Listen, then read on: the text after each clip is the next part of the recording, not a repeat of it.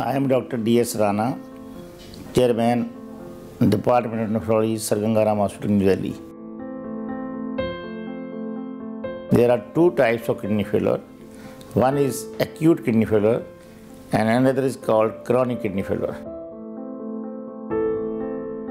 Acute kidney failure that is within less than three months. People, patient may present with uh, passing less urine or patient may be having symptomatic like vomiting, nausea, loss of appetite, dehydration, excessive vomiting, excessive diarrhea, heat stroke, or ingestion of toxic drugs or toxic substances or heavy metals. There are some Ayurvedic medicine which are containing very heavy metals. Then, of course, in hospital setting, infections. Otherwise, any serious infection, like especially like pneumonia and urinary infection, they can produce acute renal failure. In case of diarrhea and vomiting, patient must take immediate treatment.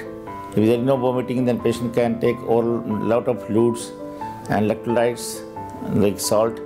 This that can prevent. Similarly, prompt treatment of infection should be there. And there are certain patients, those who are more prone to get acute renal failure, acute kidney injuries, like people, those who are having underlying uh, kidney diseases, maybe single kidney, so and old people.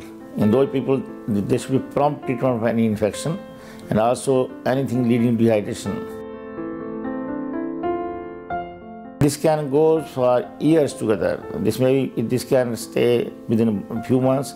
It there are usually stages of chronic kidney failure, and it is divided into stages one to five. Most of time, in the first three stages, patients are not symptomatic. Once the kidney function reduced to almost 30% of normal function, then patients start losing appetite.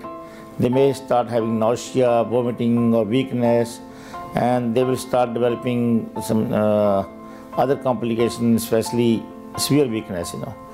Then at that time, by on investigation, you will come to know that the patient is suffering from kidney failure or not. You know.